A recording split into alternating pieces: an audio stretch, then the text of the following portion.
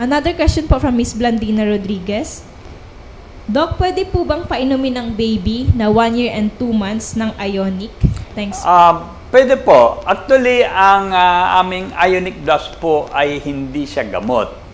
Siya po ay sustansya.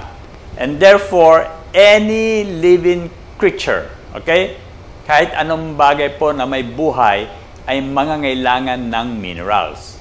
So, yung ah, baby na hindi pa ipinanganak, yung baby na naipang, naipanganak na, yung bata, teenager, okay, adult, ah, senior citizen, mga hayop, halaman, lahat po yan ay nangangailangan ng ah, minerals. Okay?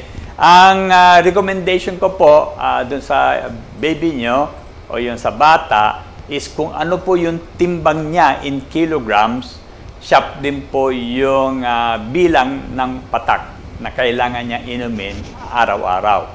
So halimbawa, yung baby nyo, eh, may, mga ano po yan, mga 11 to 12 dapat ang timbang niyan. So, go for the 12.